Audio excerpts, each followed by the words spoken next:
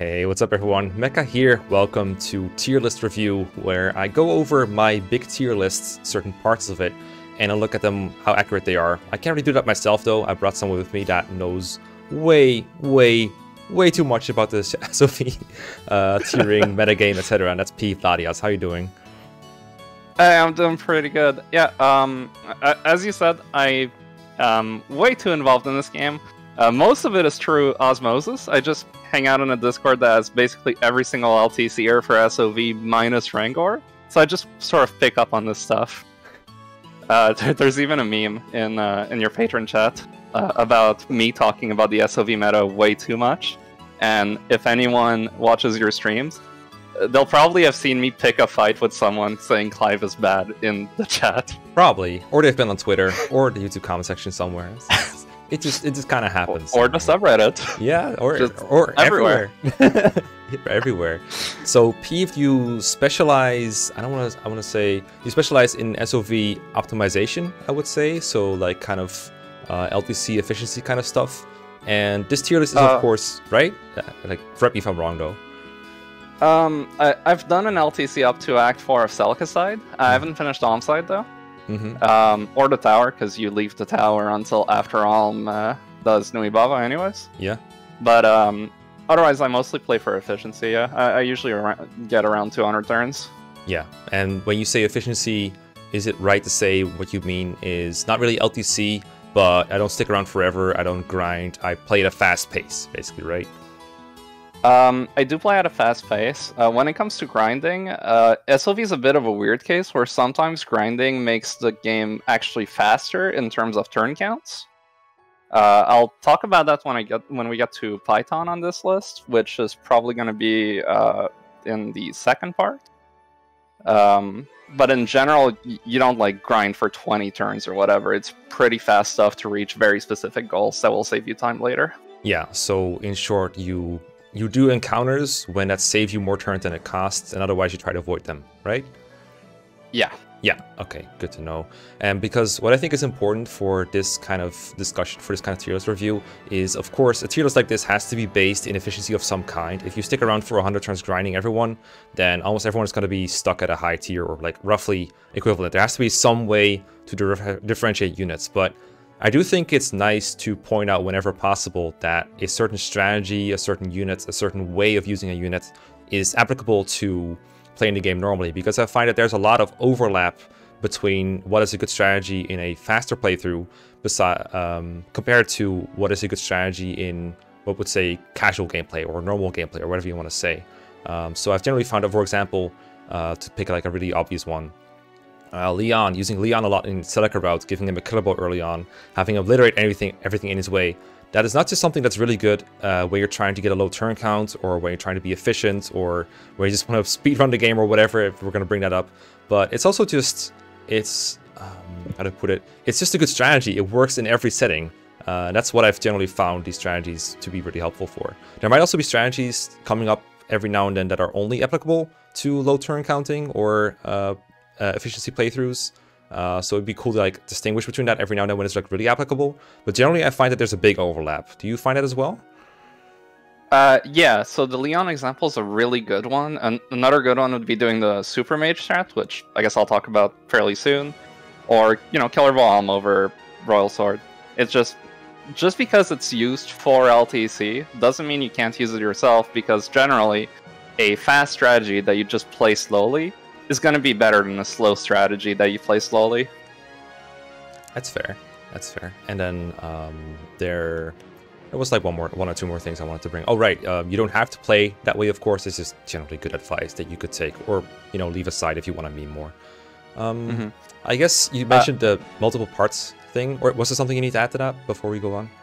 Uh, yeah. Um, another thing I just want to bring up about SOV uh, meta specifically is when a lot of people think about meta games, they'll think about it in the sense of like a competitive game or a very strict game where deviating from the meta is seen as a, a bad thing. But the thing about the SOV meta that I find so interesting is how uh, free it is. Once you know what's good, it's really easy to deviate from that because you know why it's good and you're able to do funny strats uh, based on that. There's like five viable carries for Celica side, for instance.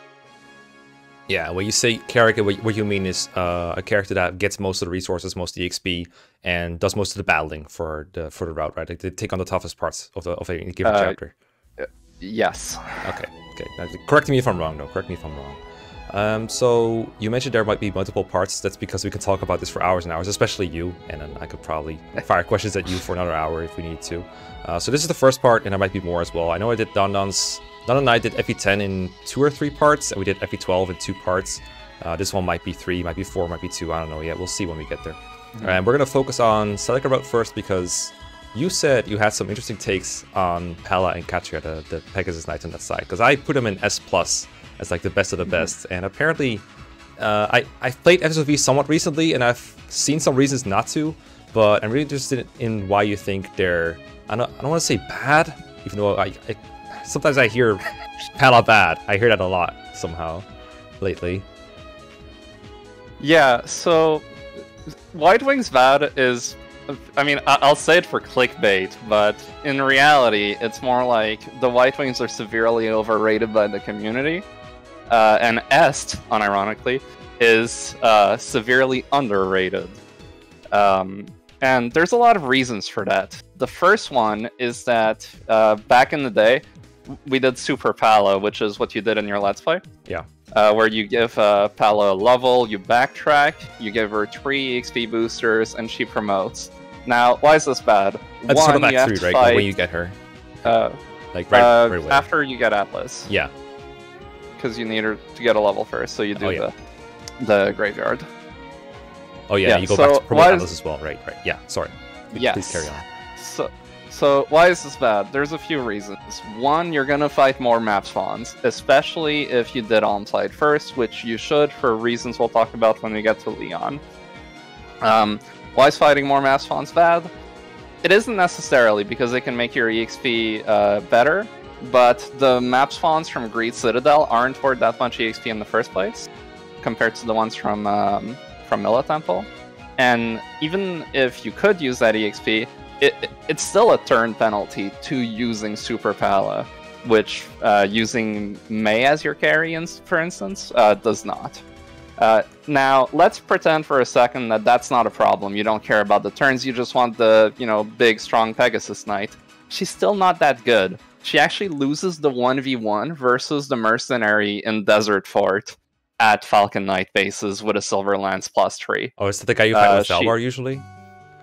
Uh, no, that's the one in Greed. I mean, uh, the dudes hanging out in front of the Beaufort. uh, Oh, I next to the remember those. Yeah, Arcanist. yeah, they're annoying. They're annoying. It, in that chapter, it feels like Palla and Catria are like they fly over the desert, right? So they're good in that portion. But generally, I find when Mhm. they get to the fort, they attack a couple times and they gotta get back and get healed because they just can't handle the fort at all. Yeah, and that was the logic for why we did it. It's just n- no one at the time stopped to ask, hang on, do I have a better unit to fight archers than a bunch of flyers? well, I think the idea with Super Uh, Palace specifically was that you inflate her stats so much that she can fight archers, and I did find that she can one round a lot of the archers. Generally, it's just not always safe for her to do so because these steel bows, especially the boss, just kind of wreck her. Especially if she can get crit, Mhm. which sometimes it might happen. Well, uh, the, the steel bow's only on the boss. The regular ones have iron bows, which have 6 might versus flyers. Oh, so yeah, she gets something like 4 or 5 hit KO'd. But it's 4 or 5 hit KO'd by enemies of which are like 6. And also, she does not counter them, so she's not actually doing anything outside of player phase. And then the enemy she does counter, the uh, mercenary, as I said, she loses the 1v1 to him. Uh, he does like 12 damage to her, she has 35 HP. Uh, and she does something like 10 damage while he has like 32 HP. So she she gets tree rounded and he tree rounds her.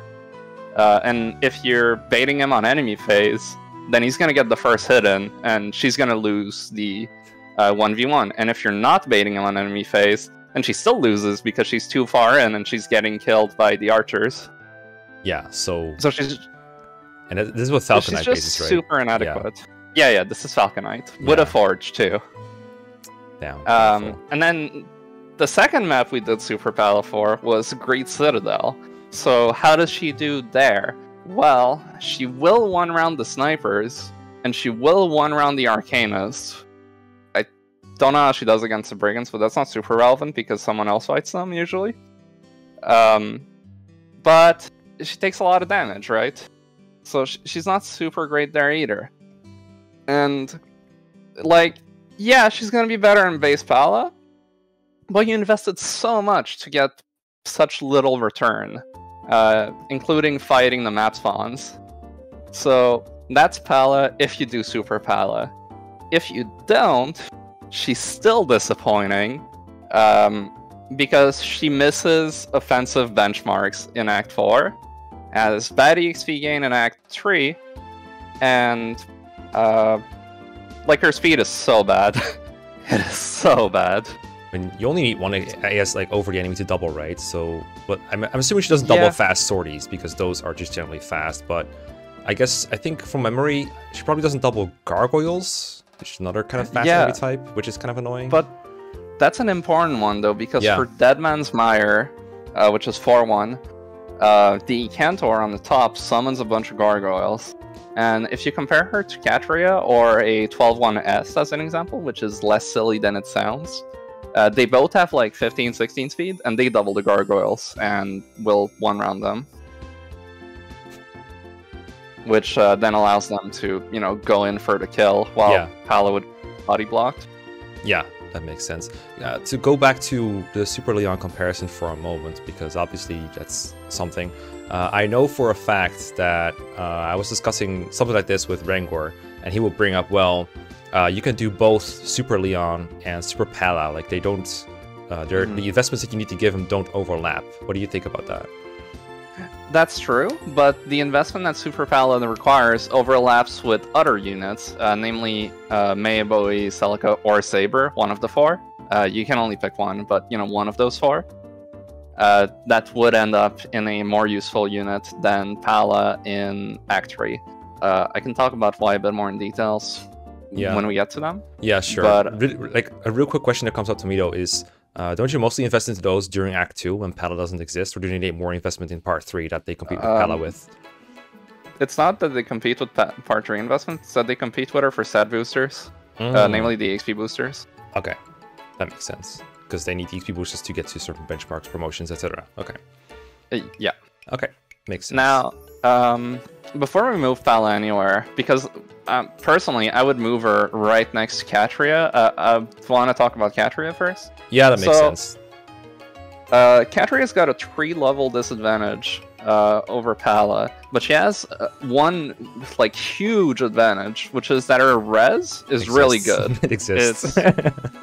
Well, Palla's exists. It's five. That's not that bad for SOV, right? True. But it's it's worse, and you fight a lot of mages on Celica Route, especially if you do the Sonya map. Um, now, why is this relevant? Well, witches give a metric ton of EXP, and base Catria one rounds witches at base level if you forge her a javelin plus two.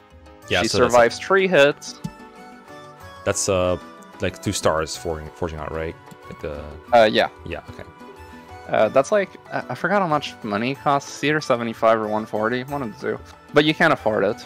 Like you can forge what you need and afford the javelin. It's uh, the money's not an issue for getting it to her, and it's going to be useful later on anyways because that way you can use it in uh, Jetta Swamp versus the fiends.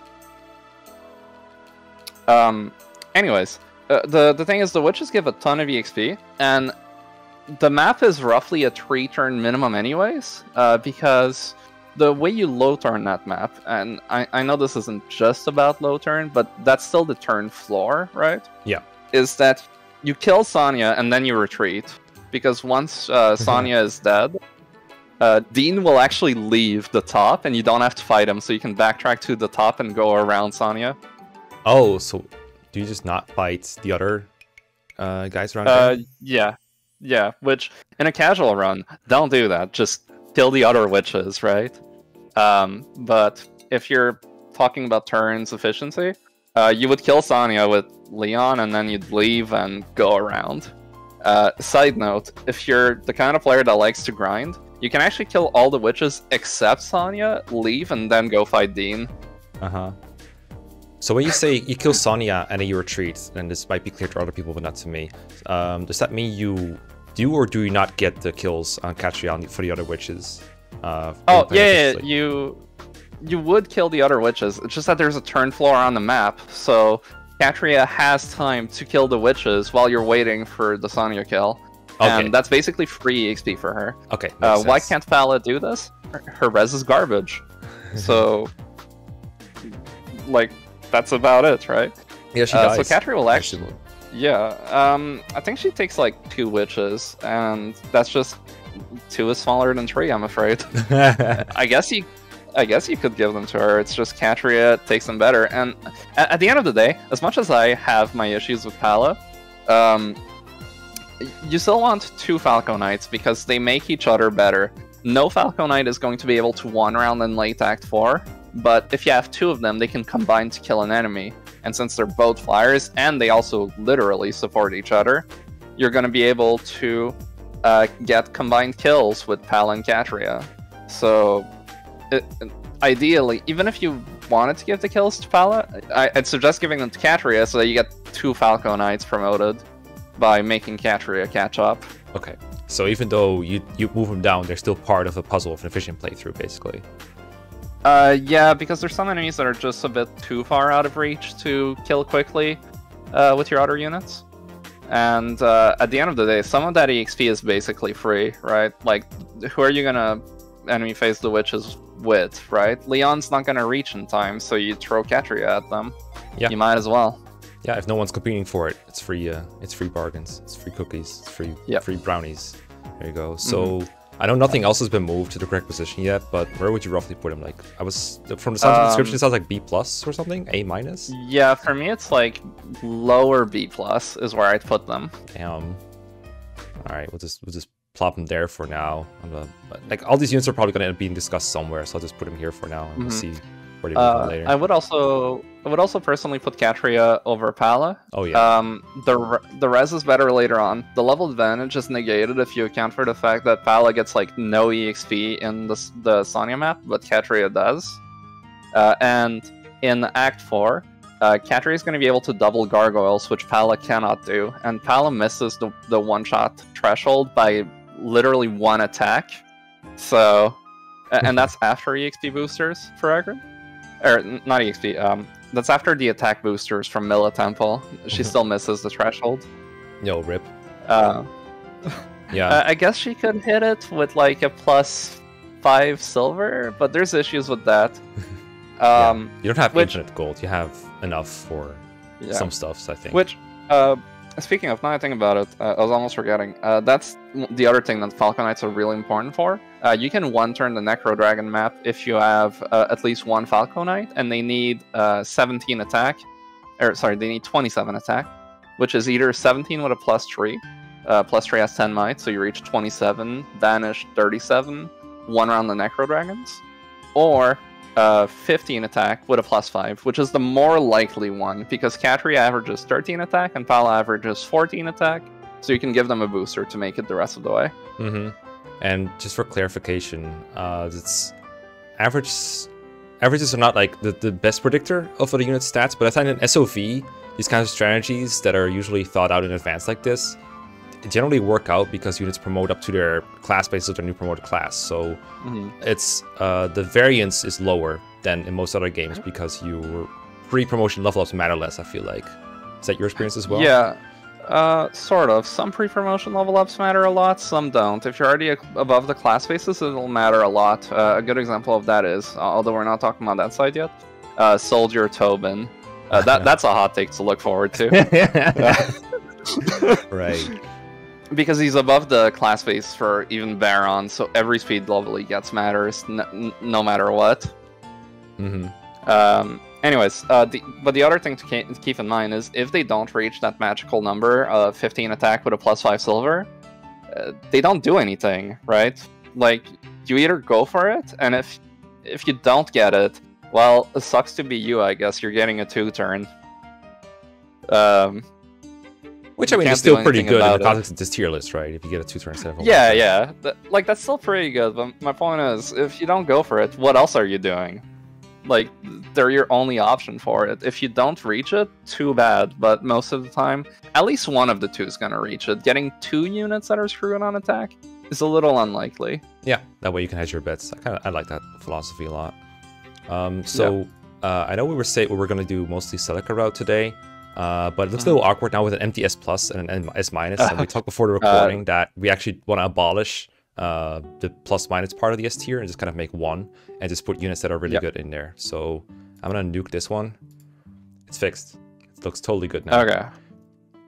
You were saying Um, something. Real quick. Yes, there's another thing I forgot to talk about with the White Wings. Palla and Catria have an unfortunate disadvantage over Est. Uh, this Oh, is going to be like the hottest take, but you should use Est for her bases. oh boy.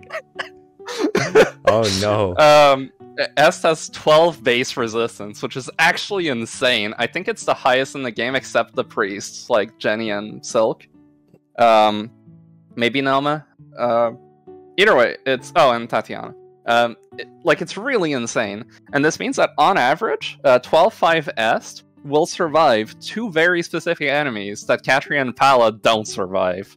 Um, she survives the combination of a Javelin Baron, well, Fiend, and a Death Arcanist in Doomagate, which Palla and Catria both die to if they don't get a dodge. Uh, or a heal in between. This sounds too Now-. This sounds so specific to, that it can't be important to me. You know that, right? Well, so what I'm trying to get at with that is that I'm not trying to say she's better than Palla and Catria. They have better availability and they do take less investment. But it is something unique to her uh, that's actually pretty useful. Um, and outside of that, uh, it- it's actually not that much effort to get her the promotion. Uh, keep in mind that when we're talking about Super Palla, there's like, or Palla promoting in general, really, there's like this uh, unspoken assumption that it's fine for her to get three XP boosters. But if it's fine for her to get three XP boosters, why isn't it fine for Est to get three XP boosters, right? And at that point, you only have to get Est from three to nine, which is six levels, where she's getting accelerated EXP gain because she's under leveled.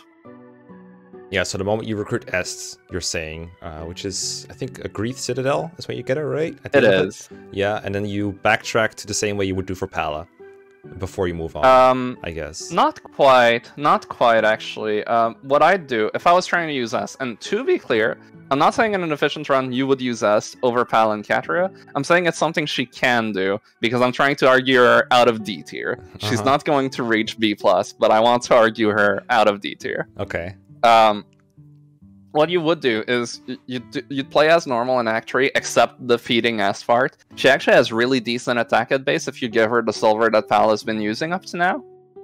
Um, or just a silver in general. Mom says it's right? my turn with the silver. yeah. Um, and uh, you're gonna fight map spawns because while map spawns are bad, you're not avoiding them unless you're rigging or playing with a patch that disables them. And there's enough map spawns uh, and maps with weak enemies that she can like prey on, like the Arcanists in um, is it called Valley Approach? Yeah, Valley Approach, I think. I remember Um, that name, so it must be the right one. It's the one before Mila Temple. There, there's enough Arcanists and Witches in there uh, that Est can actually get kills pretty decently because she's not that slow, and, uh, well, more accurately, the enemies are really slow.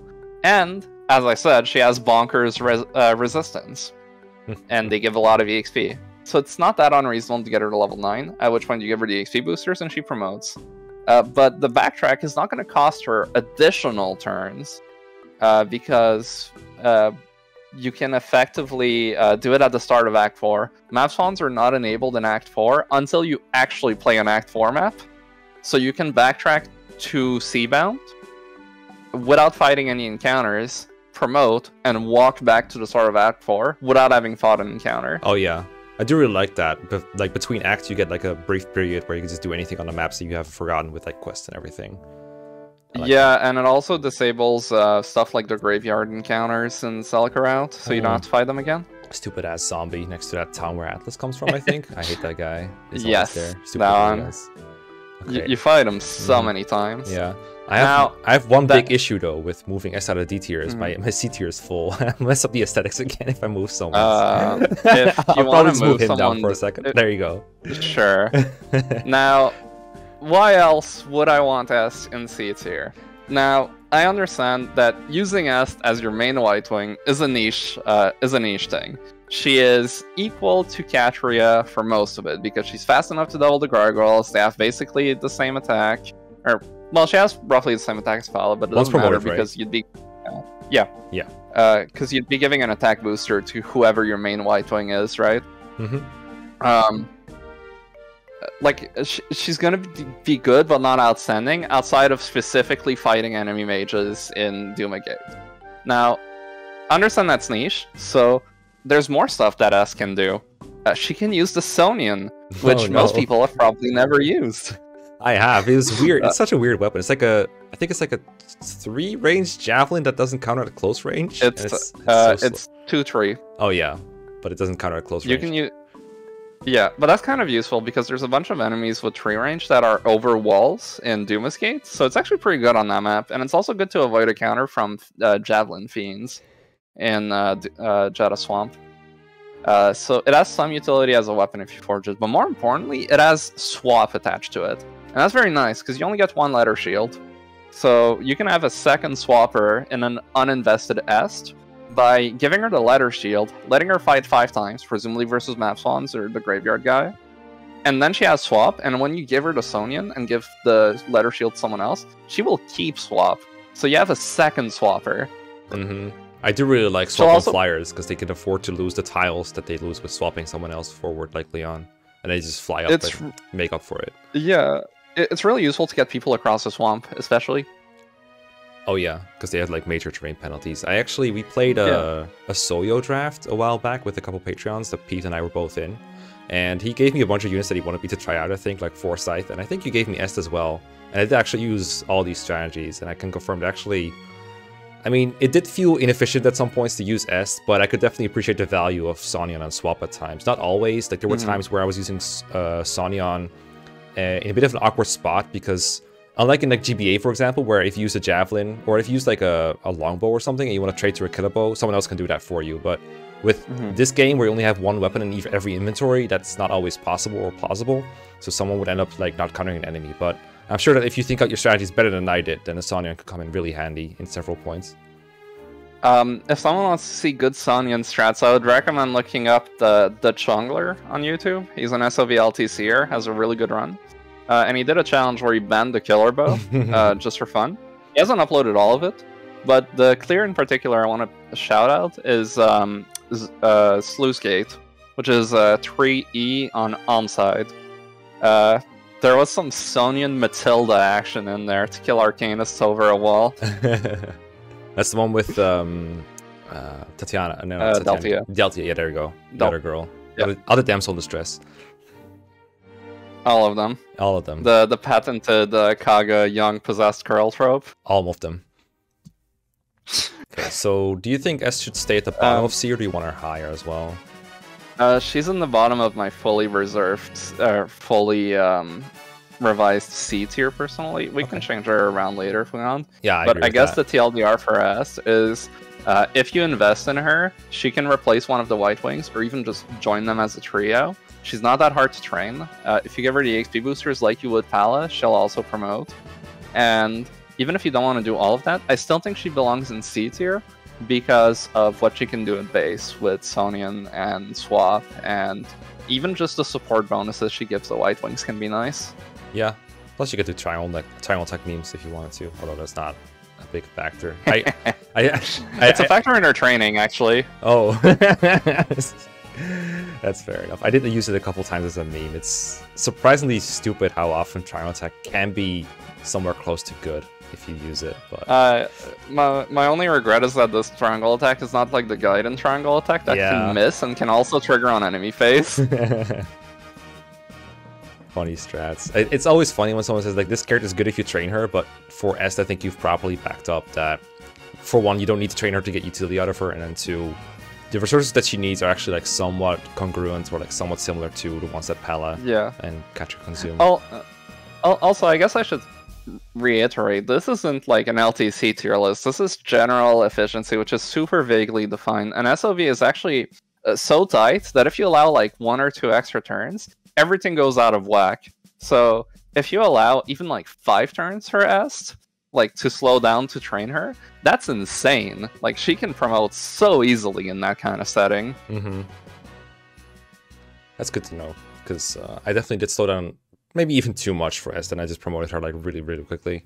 But I don't remember. I don't remember how efficient I was when I played. I know I didn't really care about turn counts, so, but it didn't mm. feel super bad. It's, like I said, like I said, yeah. efficiency is very vague, but it, it gave me a good idea of how easy it was, I suppose. Um, so there you go. That's that's a, what like a half hour talk just about Whitewings and introductions. yeah, let's go. Well, the Whitewings are interesting. What can I say? Yeah. You know? Let's get an easy one out of the way then. Oh, yeah. uh, move Silque or not Silque, uh, Genny to S tier. Oh yeah, I absolutely agree. Where did they even put her? Oh, there, there she is. Yeah, I mean she's a sheep. Else is there to be said? Uh, true, uh, and also I killed uh, Duma with her in my zero percent growth run. Oh wow, you one up me. How dare you? uh, I, I, actually really liked that kill because it involved the Dreadfighter critting for 69 with a 69% chance to kill and survive. Uh, to bring Duma to 1 HP, which is just poetic, really. These are priorities, very big priorities that we're talking right now. Hell yeah. I mean, but um, God slaying aside, uh, what's what's so good about Genny? Well, you have Juggernauts. Your Juggernauts in Celica route have shit res, namely Leon. As it turns out, if you have bad res, you get hit for a lot, and if you're dead, you can't Juggernaut. So it's kind of important to have Physic. Yeah. Uh, to keep Leon going. Yeah, I think especially in this, in the context of SOV, it's such a big deal that units uh, they need health more than ever because you can't. It's not like GBA games, not other games where you just pack a vulner, your concoction in your inventory and heal whenever it's convenient. You like if you do that, you can't have a killer bow or a silver forge or whatever else you want to like. You can't have a Sonny on if you if you want to pack like food. so someone else needs to keep your HP up. And as far as I know, in Celica route, there's this is the only really viable way to do that is to have Genny physicking from distance and keep him healthy. Yeah, uh, pretty much. Um, I will. Uh, I will say that's not the only thing that's good about her.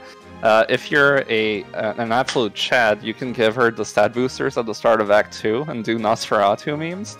Not efficient, but very funny. And uh, I'm contractually obligated to say it, otherwise my girlfriend will kill me when she sees this video. Because she's a big Genny fan. It's okay, it's just Nosferatu your health back. It's fine. You'll be fine. True, true, true. Uh, and even outside of memes, uh, when she promotes, she gets Seraphim, and she has a really good magic set, and Fiends are really slow, so she can actually either one round or bring them really close to death with like Mage Ring or even Grimoire Ring uh, Seraphim uh, in Duma Tower, especially. So she's got some combat utility there for like for good measure, on top of her really good uh, physic. Now, uh, I gotta talk about Invoke. I do not like Invoke. I know it's very popular in casual runs, but uh, Invoke is like you get your EXP stolen away from you, but like unironically this time. And it, it can also really mess with your strategies if an Invoke soldier uh, goes where you don't want them to. It has its uses, uh, especially in like an Iron Man setting. You can like save a run, uh, or for the Necro Dragons, since the soldiers will die to the Necro Dragons, I mean the ones in Act 2 at Seabound Shrine, um, you can use them as distractions since you don't have a lot of good dragon killers at that point. but I don't like it generally. No, I can see that. I, I, I would almost describe Invoke as a get out of jail free card, except there is actually an opportunity cost, um, like the things you said.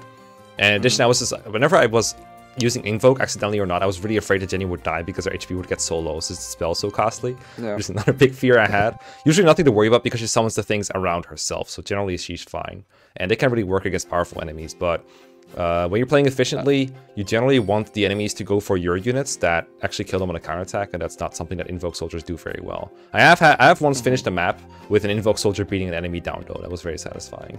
but I mean, even yeah. if you just even if you just ignore Invoke and its existence for this tier list, I think she still 100% deserves that spot just based on the other utility she can do. Like, I made a whole video just about how good Genny was in my Iron Man playthrough, just like a whole compilation. So I'm 100% behind enemy, uh, Genny memes and also behind her uh, proper utility, I guess we'll call it. She's mm -hmm. so, so good. She doesn't even have warp, but she's still that good.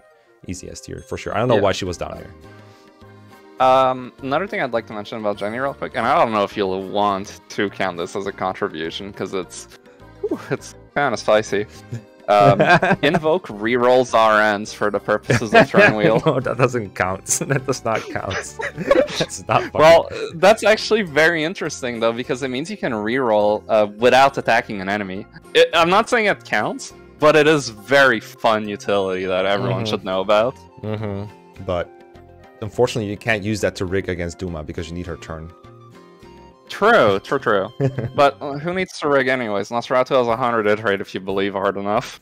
that's okay. I'm not even gonna respond to that with that true because that's obviously not true. But goddamn, okay, sure, sure, sure. We'll Pick Sonya to boost her Nosferatu hit rate 65. SMH, SOV. Okay, fair enough. Genny is the Anyways. Anyway, Celica route.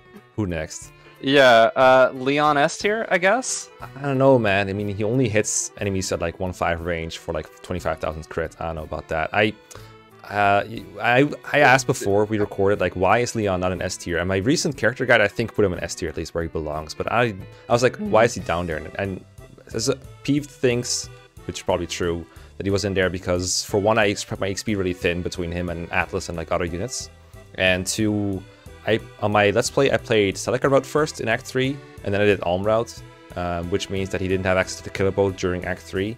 Whereas if you play Alm first, you can have Alm forge the killable, and as far as I know, he has more gold and more silver to work with, so he can send over the killer bow after he's done with little opportunity cost, and then uh, Leon can have that one at the start of Act Three and be really good with that because you know Hunter's Volley is really good, and I think lately it's not just been Hunter's Volley really good, but also Leon fighting an enemy phase is generally better than anyone else fighting an enemy phase. Just look at like Archer Fort, looks at like Great Citadel, look at any other map where enemies have more than two range, or even more than one range. He's just your best attacker for the whole route, and 100% worth investing like a Pegasus cheese to make him double attack. That's that's he Leon also, for you. Yeah, he, he also needs plus one attack. Um, doesn't need need it, but if he gets it, he will uh, one round some archers uh, without crits and Beaufort. So it's a huge reliability increase. That's fair. I I think mine got lucky when I last played, but you do also have attack boosters to give him right if you want to. hmm Yeah. Uh, also, I'd probably put him above the clerics personally. Um, I mean, he does carry by himself, you- so that's fair. Yeah, because what would you do if you didn't have Genny, right? You would still use Leon as your carry. It, it just would be slower because you'd need to sometimes bring him back to use a regular recover instead. Yeah. Um, but if you didn't have Leon, you know, you, I feel like not having Leon, you'd feel it more than not having Genny. yeah, I could see def- definitely. So I'll, I'll put him here for sure. Or, Like Um, below Silque, I don't know. Doesn't really matter to me right now. Uh, and that said, uh, Leon S tier does come with a bit of a caution, uh, of a warning. Uh, while he is easily your best enemy phase unit, his res is actually garbage. It's like four. Uh, give him the res boosters in Seabound, but even with that, that's six res. That's not that much. And you fight a lot of Arcanus on enemy phase. Now, I'm not trying to talk him out of S tier because he's, he obviously belongs there, if you ask me. But uh, just be really careful when you use him. Uh, because he gets like three hit KO'd or something if he doesn't dodge. yeah, and he's probably the champion of suffering from success if you don't, you're not careful because uh, he does kill everything that Yep. touches him after he gets uh, after he doubles and gets killable. That's absolutely true. He's not like Har who just like flies in there and kills something. He's S tier in a different way. Like there isn't really anyone else that can replicate what he does and also have more bulk. So he's really all you got, but you do have to minimize his exposure a bit. Well, there is, but it's really cursed. It's uh, Celica Route Cliff. Okay, okay, all right. Uh, but, uh, and I am not advocating for that. I am not advocating for that. That requires a ton of grinding. But I did it once in a draft because I didn't have Leon, and it was really funny. I think I did that exact thing in, in the Soyo that we just mentioned. I, Uh, I think I suggested it to you. Yeah, because I think I got Archer Cliff and I already had done that for Let's Play, so I just went with. I just I just left him behind in Ram Village. I picked him up with Celica later and grinded him up. it was a it was All interesting to just have uh, Leon as the only person who had because like we banned Leon, I think. In the Soyo, we banned Leon because he was the last pick because no one was uh, dumb enough to Oh, give Leon right. to someone else. We, Soyo. we soft banned him. That's right. yeah. so Uh, anyway, All right. okay. Um, is it uh, is it Merc time? Who's next? It could be Merc time. It could be Mage time. Which do you want to do first? Oh, they're both so interesting. Uh, we've been going for 40 minutes. I'm not. do we have more to talk about beyond those two things? Do we need another Celica episode after this? do you think? Um, I, I don't think so. Okay. Oh, let's just let's get rolling with the Merc. Uh, let's make it Merc time because they're in it. This one's Okay. here, and this one too. In that case, I'll start with Deen because he's the easiest one. Oh, right. uh, Deen stays right where he is. uh, what's his biggest advantage? Um, I just want to explain why. Um, the biggest advantage with Deen is related to the mages. Uh, when you use Mae as your carry, she eats up all of the EXP because she needs a lot of EXP to promote, and then in Act uh, in Act Three, she is so good that it actually kind of works against you because you want her to fight everything, but then no one else is getting EXP. And that's where Deen comes in. He comes in at level 5 promoted. So he comes in at a higher level than your Saber will be, because again, he's not getting any XP. Um, and you're able to get him to Dread Fighter. And that's very important because you need at least one Dread Fighter for an efficient Act 4 to kill enemy Dread Fighters. So that's that's why he belongs in B tier. He's got an availability problem, but in Mae focused runs, he's insane. He's also not that bad as a filler unit. I agree. Works out for me. That's kind of my experience with him. I did find like for a unit that's supposed to be low resources, I was still kind of annoyed at having to get him from five to ten. That felt like a very slow process, but Mhm. it's still less investment than most unit need anyway. So, re- in relative terms, Yeah. he's almost like Pence, but not really. He, it does require some uh, favoritism to reach it. He might even require EXP boosters depending on how fast you're playing. a lot of the time, Um, I think at least two or three times, I've been in Act like around Act Four start ish or something, and I'd find the XP fountain, and Deen would be like a perfect candidate for it. He'd be like right at level nine. That's been my experience with Yeah. him. Uh, don't forget, there's also an extra speed or uh, an extra speed booster you can get. Uh, at the start of Act Four, you can do the Fugue Shield quest, which gives you a a, um, a golden apple. Oh right, for XP, yeah. Yeah, so there's six XP boosters total in um, Route. Good. Uh, so that's Deen. hmm Uh, I guess let's talk about Saber first Ah, yes, because favorite. I I have thoughts about Kamui, but they're related to Saber. Yeah, Uh, were at so. Saber's actually yeah, except not really. Uh, so Saber's actually really interesting because he, he's gone through like such a journey in uh, in the SOV, uh, for lack of a better term, the SOV Discord. Uh, he's gone from oh my god, casuals are overrating the hell out of him to oh my god, I hate Saber so much. Why are you not promoted yet? To oh my god, Saber is good in Boey runs, I guess, but I hate Boey, so I'm gonna use Mae and not use Saber. Uh, that's a shout Karma right there. uh, which, by the way, if Karma, this is a, a call out post, finish your 0% growth LTC. Ooh, got him. um, and uh, from there, it turns out, uh, and speaking of Karma, she's the one that came up with the strat as far as I'm aware.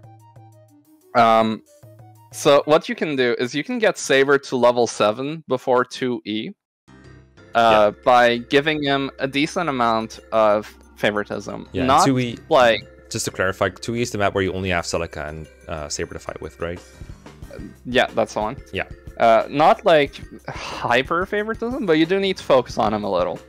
And what you do is you promote him at Deliverance HQ or Ram, uh, whatever the Team's hideout is. Yeah. Uh, actually, I think it's literally called Team's hideout. Shrine, Anyways, yeah. Um, you promote him there, and then you do 2E. 2E will give you something like two levels, uh, killing um, maybe a couple Arcanists and the uh, Cantor.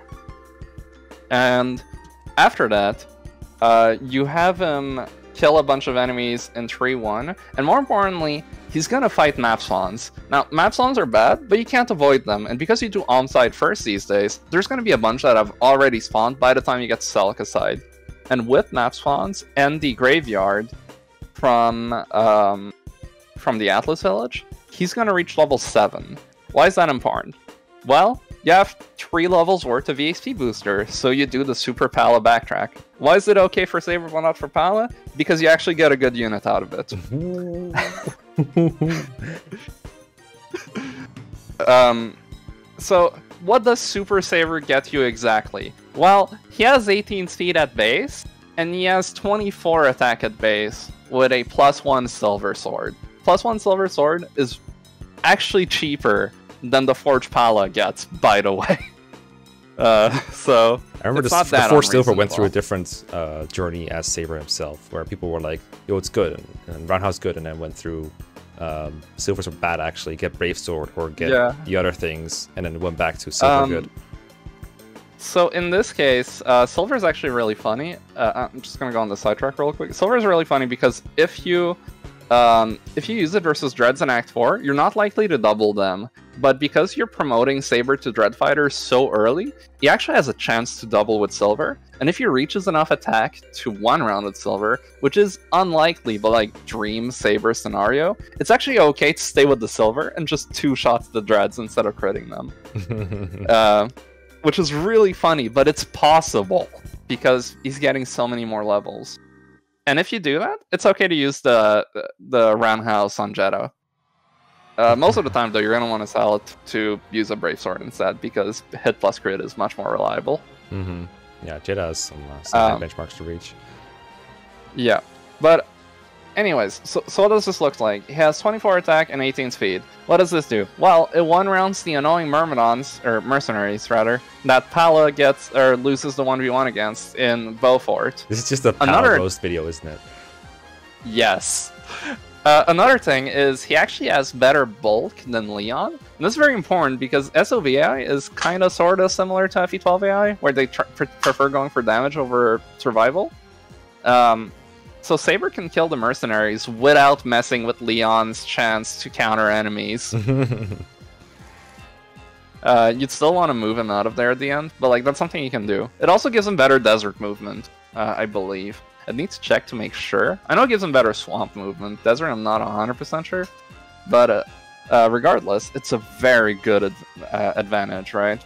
Because it means that um, you can get to enemies faster. Um, now, I haven't run this strat myself because it's a fairly recent development and I haven't played SOV in the meantime. But going off of Karma's turn counts with what she was able to accomplish with Super Saber, um, she got a four turn of Beaufort, uh, which normally that's like a five turn, unless you hyper rig it or do some really silly stuff like recruiting Cliff on Celica's side to get a deployment slot in the middle of the desert. Um, uh, so that's a really good thing, and it was also easy to get there, uh, allegedly. And uh, on Greed Citadel, she got like a five turn, which is insanely fast. Like I think my best turn count on there is eight. Mm, damn. Uh, because again, he has so much movement. Like Dread Fighters have seven move. That's one less than like a a Cav in most games, right? Yeah, Dread Fighters are threats. So just just to be clear here, this is Saber and Leon working in tandem, right?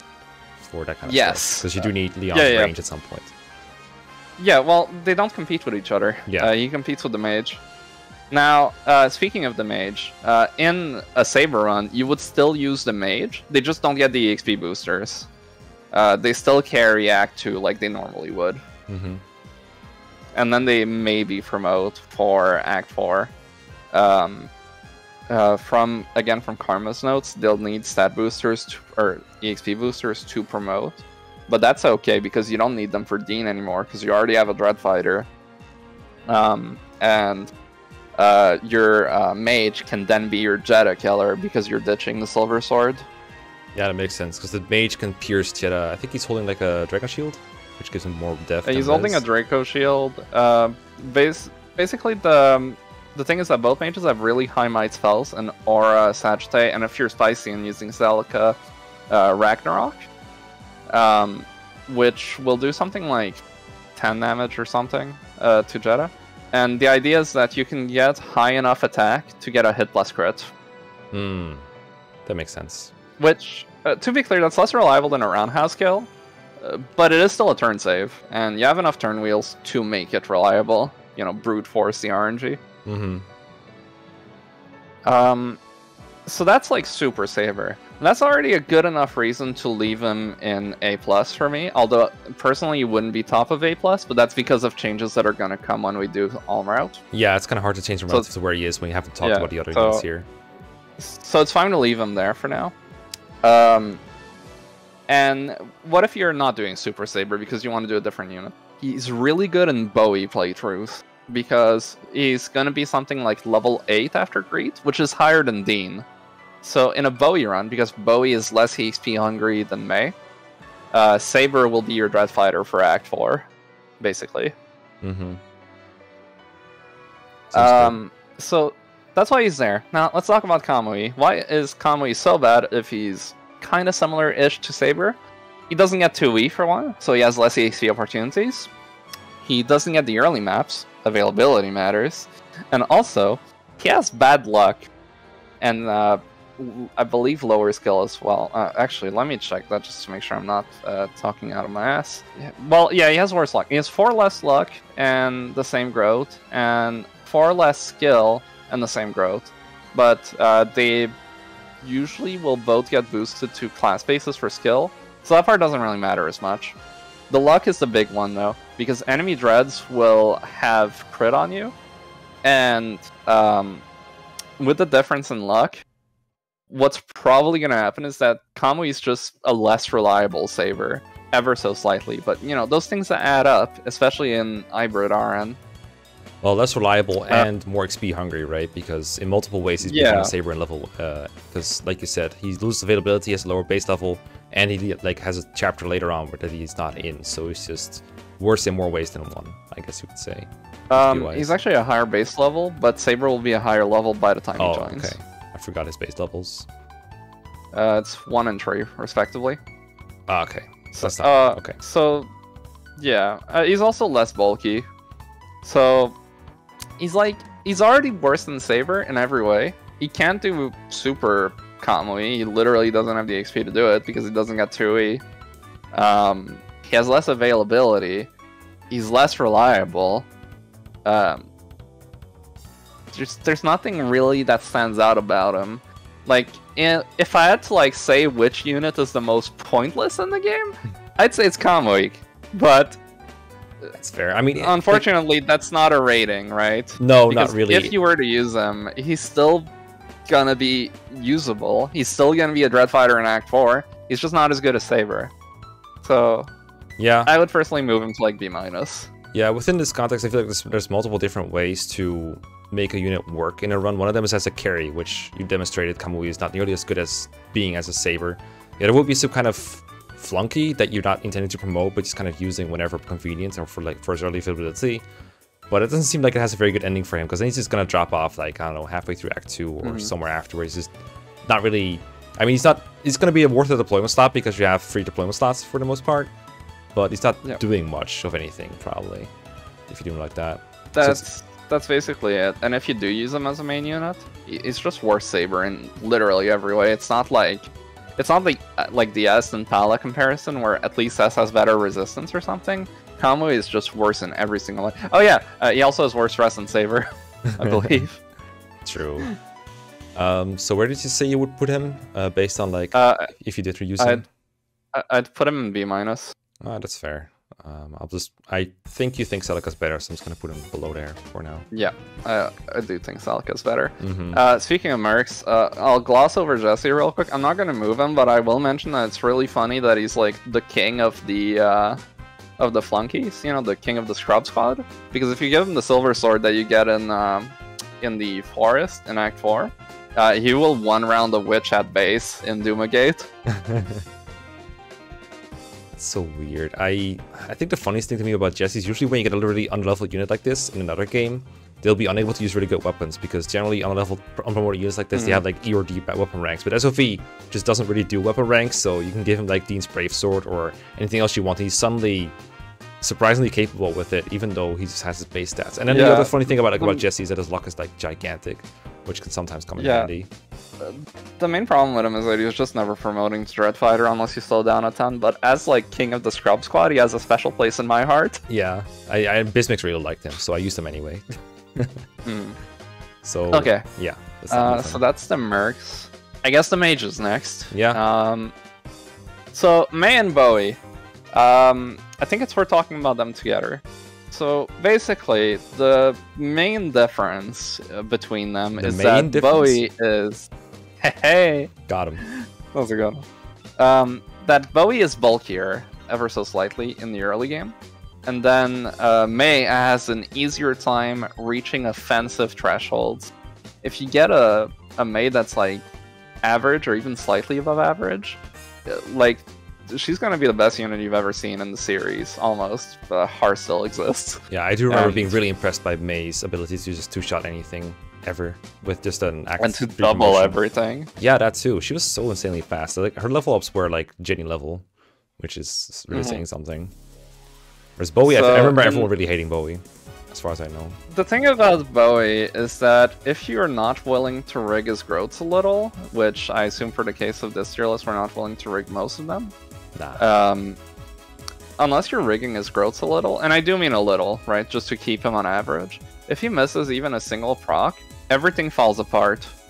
Uh, because of the way SOV retreat AI works, if you're not killing, the enemy is retreating, and if you're a Juggernaut and you're not killing, then that means you're leaving a bunch of enemies on low HP instead of killing them, and you're not getting the kills yourself, because you're gonna need someone else to finish off that enemy. So that's like the biggest disadvantage about Boey. If he if he misses at least a single growth, he will suck, and you Oh. have to rig his first growth uh, by leaving him at like 990 XP after the first map, uh, chipping the pirates with Mae, and then attacking. Because he's actually one attack short with one attack two speed. He needs two speed to double. Uh, he's actually one attack short of one rounding the pirates in the first boat map. so overly so- specific. it's so specific. It it is, but if you're using Boey as an efficient carry, that's what you need to do. Um, and as I said, if he misses his growth, like if he's just slightly under average, he's awful. Um, on the other hand, he's bulkier, which lets him be a little more aggressive. Uh, and he also requires less EXP than Mae, which is very noteworthy for Saber runs, at the very least for uh, um, for regular Saber runs. Yeah, how does that work again with EXP? Because if I recall, Mae has an XP boost, but a higher promotion level, and I thought it evened out, but I think at some point you told me it doesn't actually quite even out. Uh, the reason it doesn't quite even out is because of the um, EXP boosters.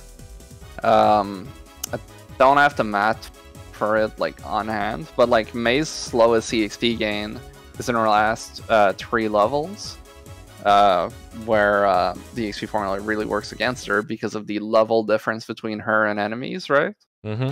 Uh, and at that point, you give her the XP boosters, and it doesn't matter anymore because the XP boosters will always level you up no matter what.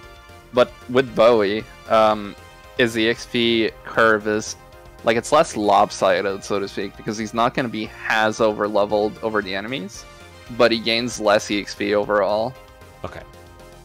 Uh, either way, they will both promote by the end of Act 2, so it's not that much of a concern. Uh, the bigger concern is that Mae in Act 3 is so strong that Saber doesn't get it like time to train himself. Yeah, Saber suffering from her success. Unfortunate. Basically, Yeah. Uh, what an EXP thief. Yeah, it's, I actually had this problem too in my more casual runs, like Iron Man's too. It's like Mae's leaving nothing on the table for anyone else. She just obliterates everything, or she suffers from success by herself because her defense is so low she just dies. Uh, um, her defense is not actually that low. When she promotes, she gets uh, 8 defense at base and right. like 34 HP.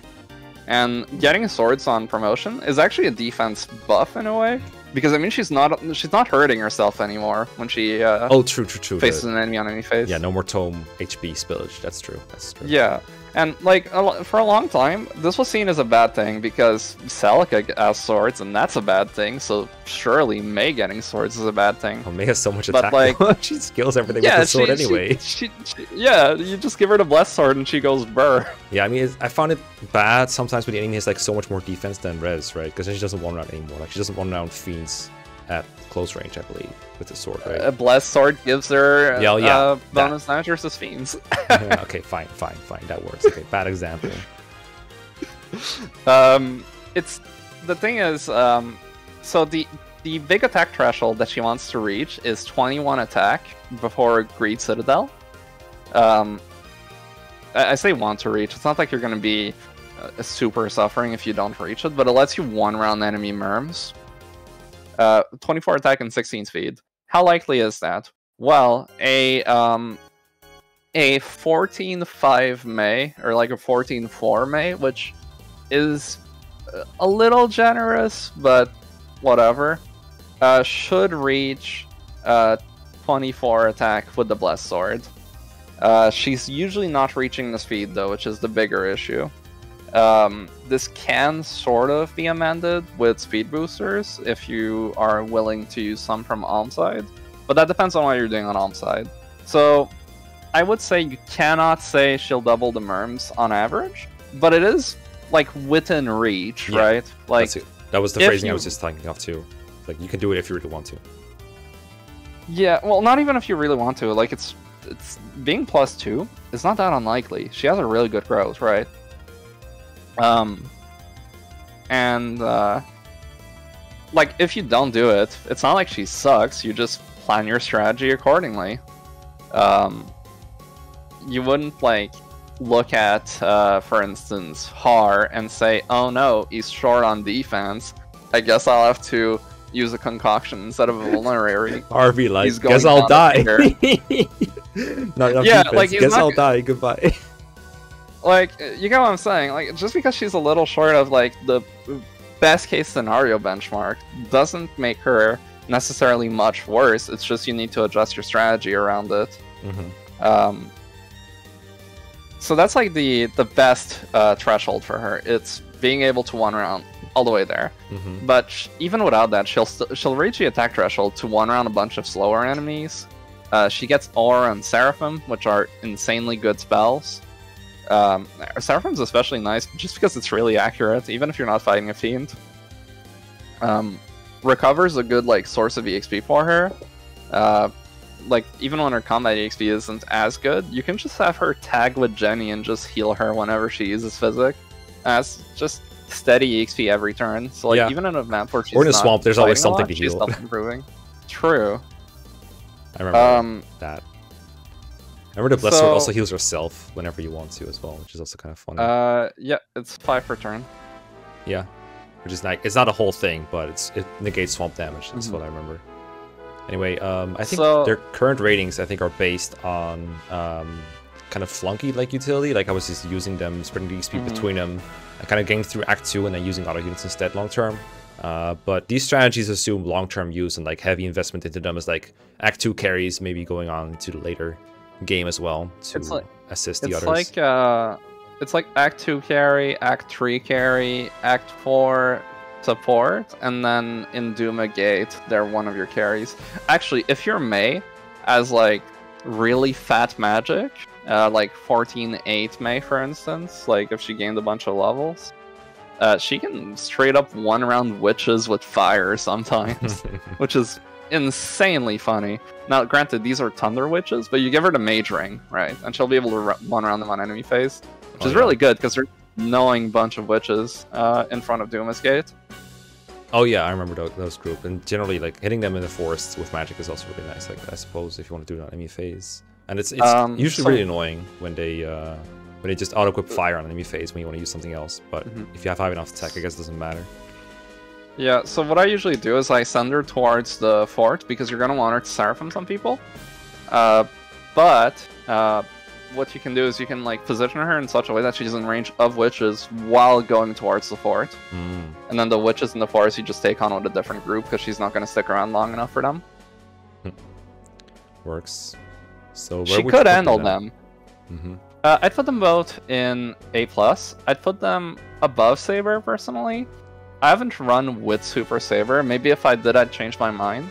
So when I say above, it's like that's my personal leaning, but I would put them both like around the same, right? Like if you ask me for a numerical rating rather than number rating, they'd both have like the same rating. They're Act Two and Three carries with some Act Four utility. hmm That's fair. Yeah, it's hard to argue a unit is like better than one but worse than the other. I guess is what we'd say. Like from what it sounds I- like, you I- prefer Mae over Boey, and most people I've I- heard do that. but- Yeah.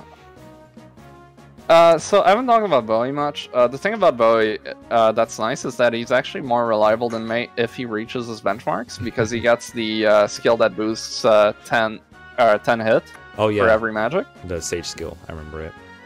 I just don't remember what it's Um, called. he's not. Discipline. Yeah, something say? like it. Something like it. Um, thing- I think it's funny the way you worded that. Is like he's more reliable if he hits his benchmark. So like 30% of the time it works every time, or maybe 50% of the time it works every time. Uh, well, the thing is, hitting his benchmarks on average, uh, like long term, is reliable because you're looking at the average of a lot of levels. The the problem with Boey is hitting his benchmarks on the short term because if he falls behind a little, he's gonna keep falling behind Yeah, because the, the XP gain is gonna slow. Yeah, definitely. Um, I do think that like That's hitting a- averages is like difficult sometimes to reliably do consistently because if you have a speed average you gotta hit and an attack average you gotta hit, um, if you Yeah. if you need both to be around fifty percent, let's say, and you miss, uh, there's like a fifty percent chance you get screwed in one, right, or roughly, let's say that it is. Then there's basically yeah. a Um, seventy-five percent chance you're gonna miss either. I guess is what I'd say. So you're rarely there's hitting something both. like this. The the chance of being on your average is actually around sixty six percent, I believe, rather than like 50-50. It's the um, it's the average, but the chance of hitting an average is like two and three. Mm. Um, the the math behind that being more or less what's the chance of not being on average, right? And then that works out to, I believe, uh, one and three. Yeah. Anyways, Go ahead. um, so the thing about um, about Boey uh, that I also want to bring up is that um, because he lets you use Saber, uh, as I mentioned in the Saber bit, that also means your EXP management is less tight for your other units. Uh, in my LTC, I found it like insanely hard to do EXP management because Catria and Palla, neither of them were ready to promote by the end of Act 4, and I needed to give some EXP boosters to Deen, or by the end of Act 3, sorry. Um, so like that's that's a real advantage that you could argue makes putting up with his unreliability like worth it because he makes it easier to do train other units because Mae uses so much EXP. Mm-hmm. That makes sense to me. At least, I mean, I haven't done the XP management myself, but sounds convincing to me, which is enough for, for right now. There's probably someone in the comments disagreeing, but that's fine. So, um, do you think Celica deserves to be up there? Because I believe she was also considered a carry at Um, point. I I believe she deserves to be in like A minus. I don't believe she deserves to be on the same level as them. Uh, there's a few reasons for that. Uh, one, you can't pick her deployment slot, so she's inherently slower on like a lot of maps just because she starts further away, uh, Oh, while yeah. having the same move as them. Lord moments. Um, yeah, yeah. Uh, why else? Um, she has a worse early early game, like early Act Two, uh, because using swords is good later on, but early on it just means she does in one round, so you need some help. Uh, like using Boey and Mae to weaken enemies so they suicide into Celica. Um, in practice, she kind of makes up the turns later though, because she's really good against um, Arcanists and the uh, Kantor, since she can use swords. Uh, versus Arcanist, the thing is, she can if you stand in a choke point, the Arcanist will go to you at two range, and This then the next 2E. one will be force. No, this is about uh, Arcanist boat. oh, the boat. Yeah, right, right. Okay, go on. Yeah, if you stand in a choke point, the first one will attack you at two range, and the second one's going to be forced to attack at one range and suicide into Celica. Uh, if her attack is high enough. Is it, Uh, like, which is it like that she won rounds? Um, I forget what the exact benchmark is. I believe it would be having something like 15 attack, which is kind of on the high side. Uh, keep because keep in mind she can use a um a steel sword, right? Yeah. So th- that really helps her. In fact, uh, I actually uh kept the enemy stats spreadsheet open, so let me check that for you real quick. Um, believe it's the fifth fire train. Okay, so the Arcanists have uh, 30 HP and Miasma. This means they effectively have 29 HP, but doesn't really matter because you can't do half a damage. Yeah, you gotta right? double. And you're gonna double. So you need to do 15 damage, and they have 6 res, so you need 21 attack. Uh, your highest sword And res. is. I thought it was um, about defense because you're hitting with uh, your sword, right? I might have said I might have said res, but I meant defense. Okay. Uh, they have seven defense. So you're looking at needing 22 attack to uh, to reach that, and you need uh, or your best sword is steel with plus four. So you're looking at um, 18? 18 attack on Celica. And she has a base of 8 with a 60 growth. If she reaches, say, level 10 for that, she should average uh, 14 attack ish.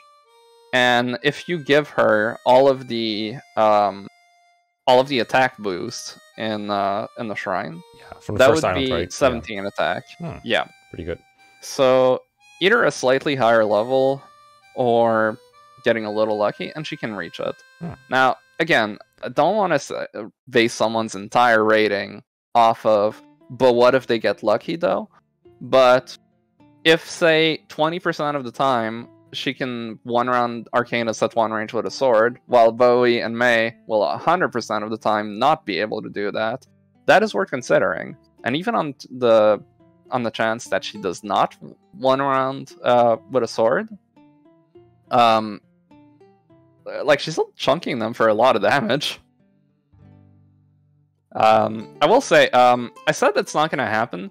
Technically, it can. Uh, Mae uh, Mae does um, damage with fire, uh, or rather, she fires three might, and they only have one more res than attack.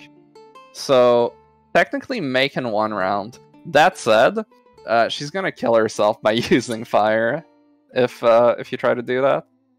Uh, and she, like, they both take pretty decent damage from the Arcanist. So I, I would say Celica is like slightly better here, since uh, she's taking similar um, similar damage, uh, since she has less res, but she doesn't hurt herself by casting. Uh, while she has slightly better HP.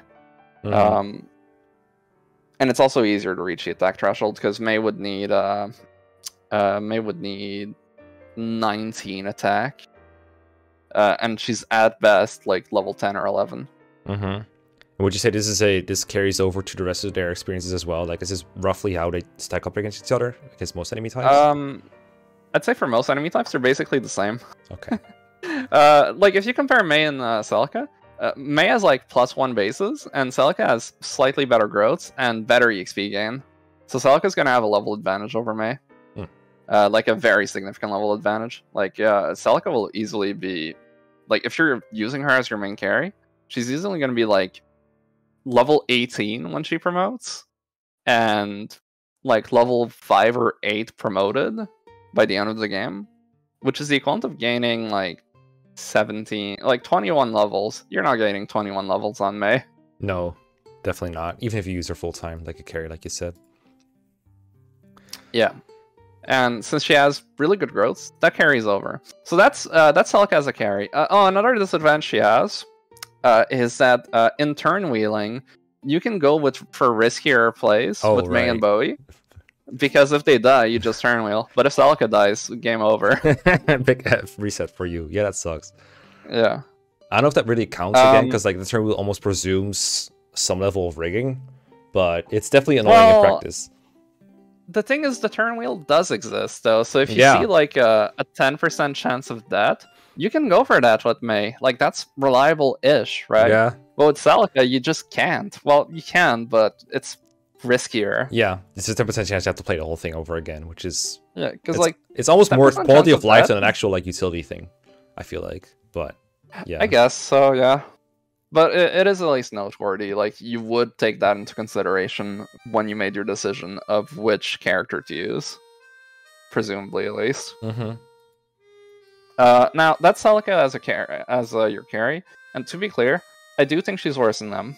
Uh, but sh- like she's not that much worse. She even does better in some maps. Like she's better on the Kantor boat because um, she can just uh, go up to him at one range on the supply tile and smack him with the sword, while Mae and Boey are hitting on res.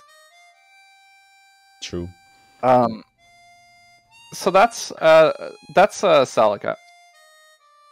As an unused unit, though, like as a flunky, she's still really good.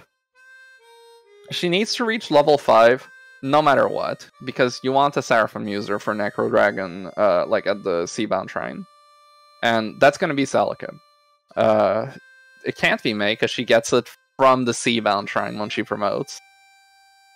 Um, and beyond that, uh, her priestess or princess rather bases are actually like insane. 13 attack, 12 speed, like 32 HP.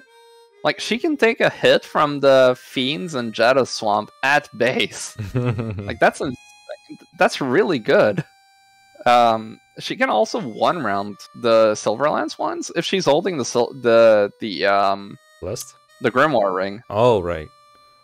the the one that gives you plus five magic. Yeah. Oh, um, while I'm thinking about it, uh, I will say, uh, all three of them reach the Jedah killing threshold. They just do it with different spells. Uh, Celica has the most reliable Jedah kill, for what it's worth, uh, because Ragnarok has the best accuracy out of the three spells used to kill Jedah. It's uh, Ragnarok, uh, Aura, and Sagittae. Oh, it's the one with Sagittae, right? Uh, yes. Yeah. Okay. I remember. It's been a while. So sh- she actually has the most reliable Jedah kill for what it's worth, Mhm, and yeah. it's, it's really funny to get their boss dialogue and then you get smacked in the face with Rag. I agree. I still think it's funny that Jedah is so slow you can double him with those spells because of the Draco Shield. he has zero AS. Yeah. So, so slow. Thank God. just need Yeah, to just know how to um, count and you'll be able to kill Jedah. Easy. hmm Like, um, I guess I'm gonna like use an anecdote to illustrate my point about like how good I think Celica is as an invested unit. Even if she's not your main carry, just as an invested unit. Like, let's say you were doing Boey plus Celica instead of Boey plus Saber. I do think you should be doing Boey plus Saber instead, but like just for the sake of argument, right? Mhm. what I did in my Soyo. So Boey was my main mage, and uh, because you know it's a Soyo, I don't have that many units. I was like super investing into Celica, and uh, Celica, which was a few levels under Boey, had better offensive stats than him, uh, despite not getting any stat boosters. and then I looked her up on Oifibot, and she wasn't even above average. Let's by the end of the campaign, uh, yeah, it's insane. By the end of the campaign, I think she had like 24 magic and like 20 speed, and she was like plus one on speed, I think. Like she just has really good stats. Like people really underrate them because either they don't use her, which is fair. Uh, she's not the best EXP target, but she's a good EXP target. Um, or because like they see her as frail, which she kind of is. Like she's she's not on, but she's still like able to take a couple hits, especially from mages. hmm Yeah, I have the same experience. I also, it's the turn wheel thing as well. You want to keep her out of combat a lot of the time if you think it's risky. Like if you're not doing every bit of math, it can be really scary to put Celica out there. So, True. I Although I, I would it. say you should do the math. Yeah, I mean, Uh, if you're playing Fire Emblem, it, it's generally a good idea to do the math before you attack. um. Okay. Uh, is there anyone we forgot? Um. Yeah, so we have. Let me see. We have Atlas and Valbar and Conrad and Sonya left, I think, and I guess Nomah as well. So they either like I- we're, we've been going for a really long time. So it either be speed rounds or we can save him for another time. Okay, I'll do speed rounds because this that way it's nice and neat and in one video. I do like it. Valbar up to C. Uh, Yeah. It's a. It's Flank, kind of funky hard utility, to right? argue whether Like- he should. Yeah, sort of. Uh, like in in the Merc boat, he's insane because he takes no damage. Uh, he can be used for body blocking zombies on the Ar- the Kantor boat. Uh, he can be used decently well on three one. Uh, there's uh, Valbar's epic duel against the Myrmidon in Great Citadel in the Yeah. bottom right. the desert guy. Uh, yeah, if you do this the Deen map instead of the Sonya map, he can choke the point really well on that map. Like I think he lives a crit from Deen, and keep in mind this is enemy Deen that has like 20 attack.